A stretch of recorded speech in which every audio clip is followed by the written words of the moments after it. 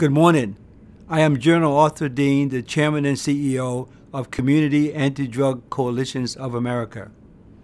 It is my honor to share with you this morning during your 34th Martin Luther King breakfast about an initiative known as RALI.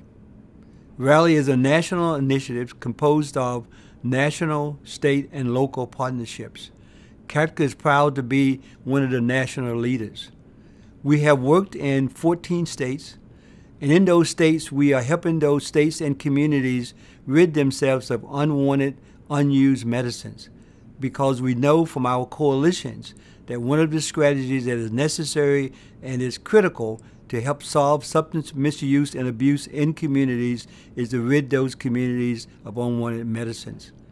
We have distributed 700,000 deterrent disposable pouches in these communities.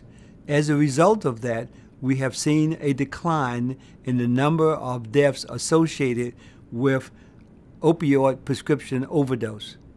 We are extremely proud to be a part of this initiative, and in your area of the country, we are working in the Northwest, and in Oregon alone, we have 114 community coalitions.